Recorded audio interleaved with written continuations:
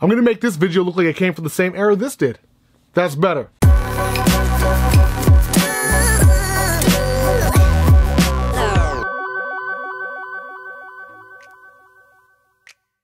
Good, YouTube? It is your boy Thesis, aka Thesis himself, from Vaping with Thesis. That's right, God bless it. Now, look, bitches, today we've got the Wake Mod Bigfoot 200, or the way I'd like to see it is the Fuck Jerry Prince Edition. Mm. Hawkeye Truckers. Now, before we get started, let's go and check this bad motherfucker out. We have got Altoid mods on Altoid mods. Holy shit.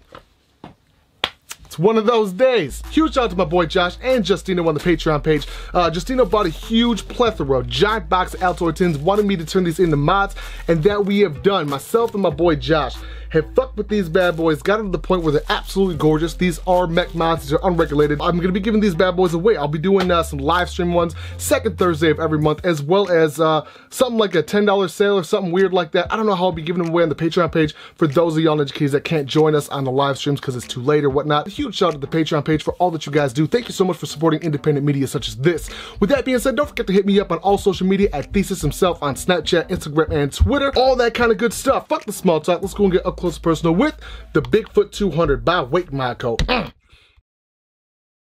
Bitches, welcome to Up Close and Personal with your boy Thesis. Today we have got the Bigfoot 200 watt by Wake Modco. Actually, kind of Sigelei. I mean, if you want to look at it, Sigelei kind of helped them with these motherfuckers. But with that being said, let's go and get started.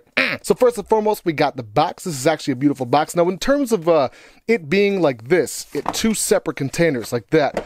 I think, now from what I've understood and what I heard, especially talking to other reviewers and shit, it looks like, I think DJLSB was the first one to mention this, is that they have to send it in two separate boxes because that way it's not considered a full kit and then the tariffs aren't as bad. Fun facts aside, we do got this. I think it's, uh, let's see if it's got the fucking shit on here. Yeah, right here, manufactured by Sigelei.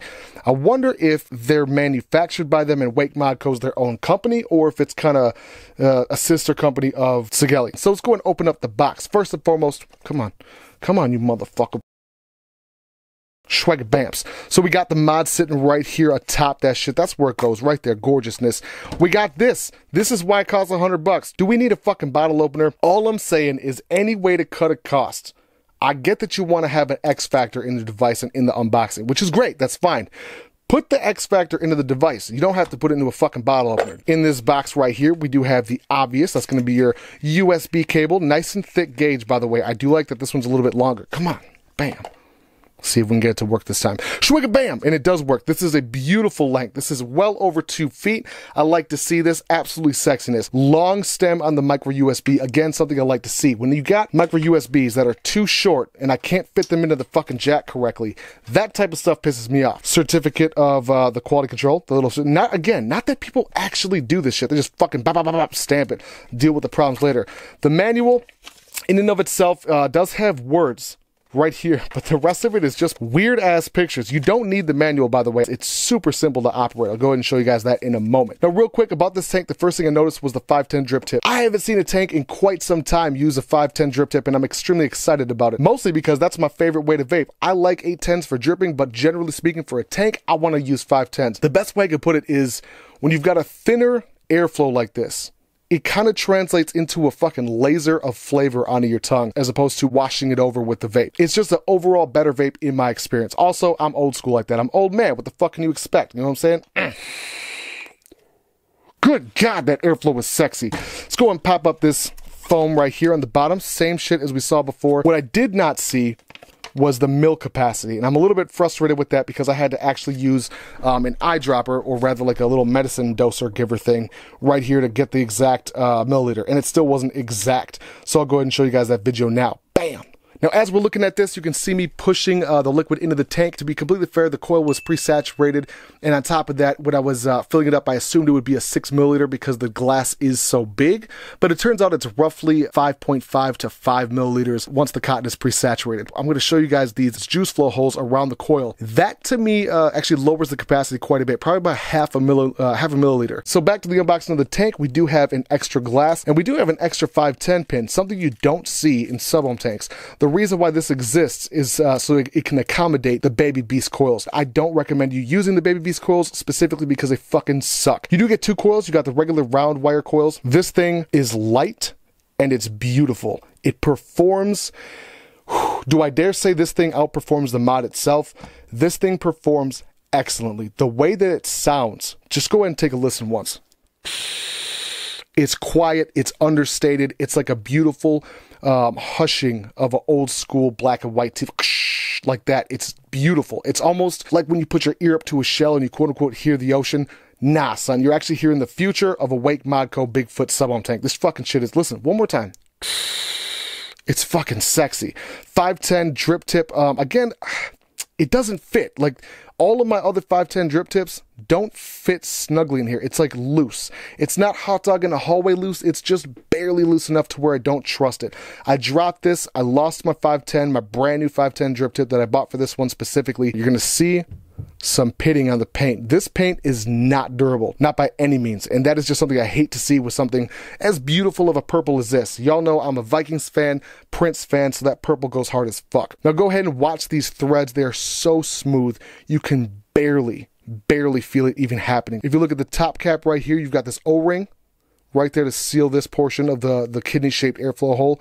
Now, usually I like to see two of them, that way it lets out the air, but this thing is so big that it doesn't really matter. You can almost fit this giant eyedropper right there. Look at that. The airflow ring itself has one and then two airflow slots. It's more than enough. It's a solid airy draw with just enough restriction to let you know it's there. Now, it is a fairly large tank. Its widest portion right here on the bubble glass is 28 millimeters.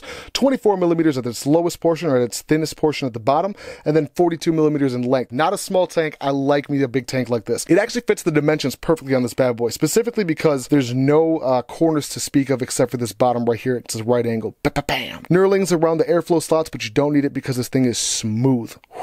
It's very classy but gaudy enough where I'm attracted to it. I dig it a lot. Now, real quick, I want to touch on the part that I was telling you guys about where it actually loses juice capacity. The juice flow holes don't go all the way to the base of the tank on the inside. It actually kind of sits up maybe a millimeter, maybe two. Once the juice gets below that line, once it gets below those juice flow holes, you're still getting dry hits, even though there's probably a half a milliliter or a milliliter of liquid inside of this tank. So it really isn't an actual 5 or 5.5 milliliter tank. It's a little bit less than that. Again, something I find frustrating with those juice flow holes, but it is what it is. There's not much you can do about it. The device itself fits beautifully in the hand. It's hard to tell which one's the front and which one's the back, aside from there being a screen and the buttons.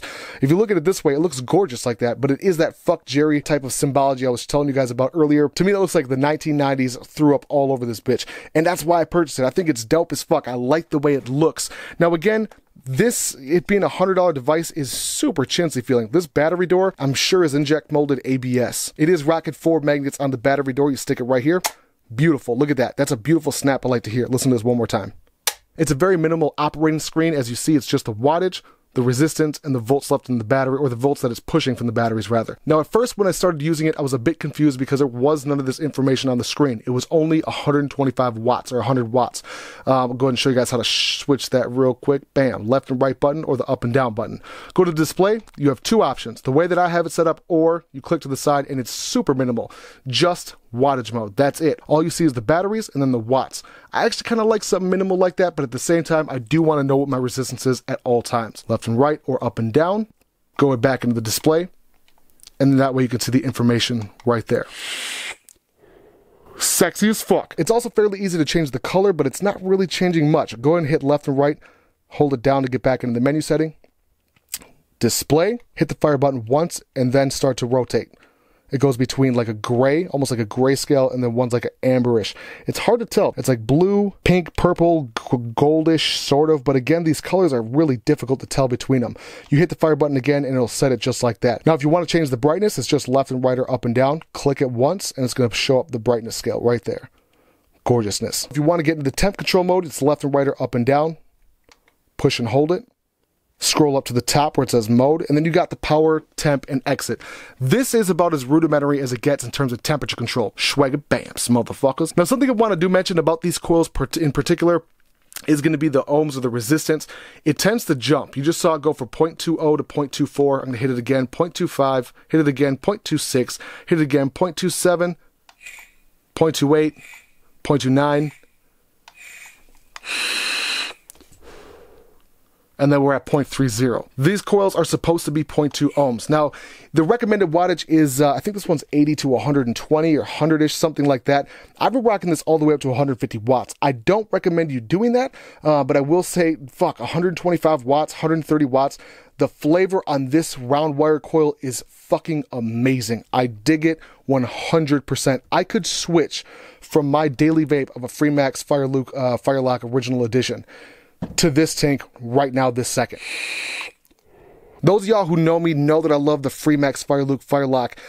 And this is by far and away one of the best performing tanks I've ever used. However, this one is a contender. Easy, like easily a contender. And it's beautiful, not to mention this is an exact match in terms of paint color. I like the shit a lot. So in terms of usage of the device, it's been raw as fuck. I dig the shit out of it. The only downside is it's not a fucking it doesn't feel as solid as I want it to. It when I dropped this, when I went right before I went to go plow uh, yesterday, I was in the shop, I dropped this, and immediately it scratched the fuck up right there. Now, granted, I did take a file to it after it already had this pitting and shit, um, only to make sure that it was zinc and not aluminum. You can usually tell uh, when you hit it with the file if it's got a mirror finish, it's usually zinc. If it has, if it's like a dull finish, it's aluminum. The only feature that I really miss with this device, with the buttons being right here, is going to be uh, the fact that I cannot lock the wattage. One, two, three. It locks the device, but that also means you cannot fire. I don't like that. I want to be able to fire the device and also have these two buttons locked, the wattage uh, adjustments locked.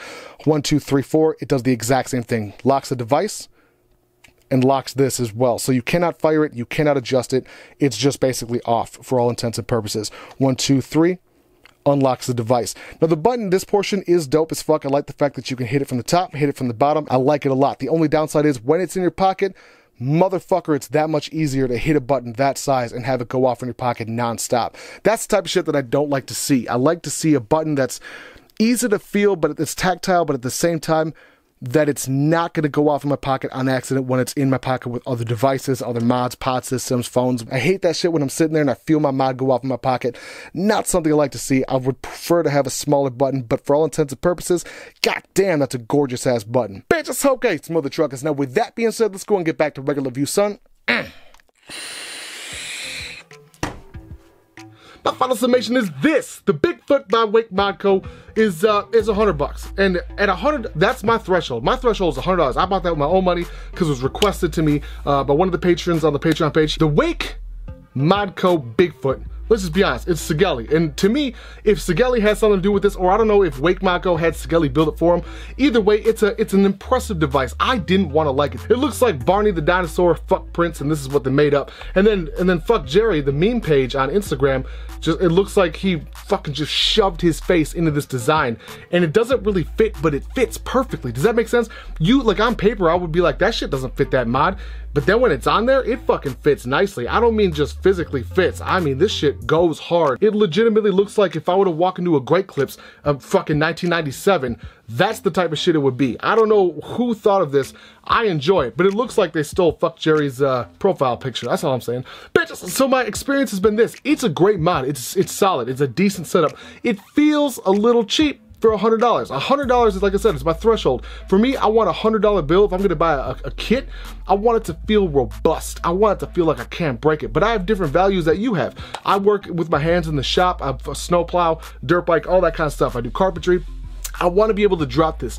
When I dropped it on the way to go plow in negative 30 degree weather here in Minnesota, on smooth concrete in the shop, I almost had a heart attack. It was fucking scary. I pootered on myself. It was like a fart attack. It, I, it fucked me up psychologically. I was like, God damn, that shit scared me. And then I lost my drip tip. It was a brand new drip tip. I was depressed about it. I can't show you what it looks like on this device. It's purple and pink and white and beautiful. I can't show it to you because it's lost. I feel bad for it. To me, it feels like I lost like a like an ancestor off into the shop and I can't find it. It's gone forever. I'll never get it back. What I'm getting at is it's a it's worth a hundred bucks as long as you're not gonna drop it. When I dropped it, it felt like it it broke.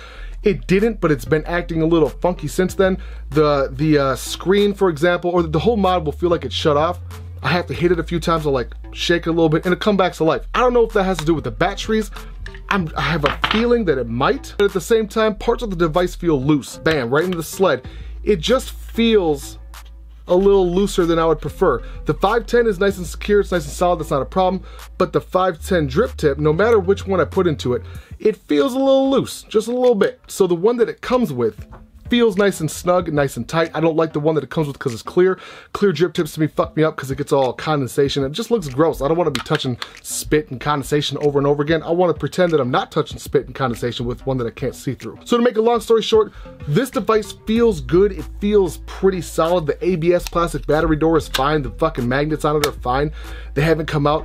I like this device and it performs flawlessly. It's lacking the options that you would want to see in a temp control suite, uh, the, the wattage adjustability, things like that. I had to, I couldn't even find how many milliliters the fucking tank holds with the bubble glass. Y'all saw that shit. I had to do that myself. I had to go get a fucking uh, mouth dropper with milliliters on it to find out that it's a 5.5 mil capacity. The one part I don't like about the 510 is the deck is not gold plated like the rest of it. I wish everything was gold plated to look the same. Don't come at me with some fucking Sigelei ass looking 510 decks that's all stainless steel. Bitch, if you're gonna make the whole thing gold plated, just go for it. Charge me an extra 10 bucks. That's all right. I know it doesn't cost y'all Ninja Kitties over in China to fucking $10 for a for a gold plated 510. Mm-mm. Do I suggest this device at 100 bucks? No. Biggest reason being is because for me and my values and what I prefer is something that's more robust. Is this a mod that's worth a 100 bucks if you don't work with your hands? Absolutely. If this was gonna sit in the studio, sit in my pocket, I'm not worried about dropping it if I wasn't clumsy, I wouldn't have a problem paying, paying 100 bucks for it. It's a solid device, but I also don't want to see ABS plastic at 100 bucks. I want the shit to have a swivel door that locks in the fucking place if I'm going to pay that much money. It's weird because once you start paying more and more money for a device, it seems like durability is, it, it kind of goes down. Look at Asmodus, 330 bucks for a device. You're also paying for a piece of wood. It's a piece of stab wood that somebody carved into a gorgeous looking, uh, ah, it's almost a piece of art. You feel me? This is kind of stepping into that realm, though it's mass produced. That's kind of the difference. The tank in and of itself is what sells me. The tank, the flavor, the way that it feels, the smoothness of this whole portion, the airflow ring, god damn, they fucking killed it. It looks beautiful. Look at the gold on that. I like that type of shit. It's gorgeous. The biggest downfall with the tank is the the I don't understand the juice flow holes and why it sits up so high. It's like a millimeter or two that you're gonna have right at the bottom. You're never gonna get rid of that 0.5 mils of juice at the bottom. Once that reaches the absolute minimum, it stops actually going inside of those wicking holes. Then it can't reach it. So it's like, it's not really 5.5 mils, it's just five or 4.8, whatever it is. Mm. Whoever made that airflow Whoever designed the airflow either did it, whether it's accident or not, deserves an award. This thing sounds beautiful. It sounds as smooth as it tastes. Listen to it once. Goodness gracious. The flavor on it is on point. Let me go and give you guys one more go at the clouds. Damn, son. That shit hits hard, but it's not a, it's not a fucking, it's not a donkey punch. It's not a donkey punch to a face. It's like if a five-year-old punched you in the face, you could see it coming. They're slow. They're not very, you know, hand-eye coordinated. And it hits you, even their strongest punch is gonna hurt mildly. You know what I'm saying? That's how this feels. This is a beautiful flavor tank. This is not something that was used for, for uh, cloud chasing or anything like that. The threads on it are fucking flawless.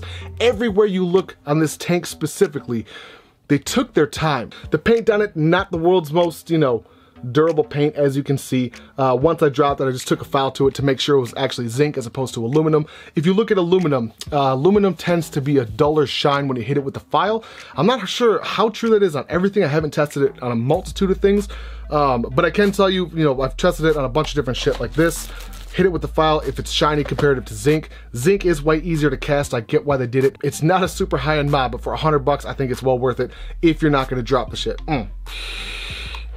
Bitch, it's okay, Smother Truckers. Now, with that being said, hit that notification button. Let me know you like the shit in the comments. I want to hear your guys' thoughts specifically on devices like this. That fucking, the rest of them, they look beautiful. I love the way they look. I like gaudy shit. That's just me personally. You know what I'm saying? I don't wear a bunch of jewelry. I don't look gaudy. When you see me, I got cowboy boots on and ripped up jeans. But when it comes to like owning stuff, I like to look at pretty shit. I've got gold mods, I got Asmodus mods.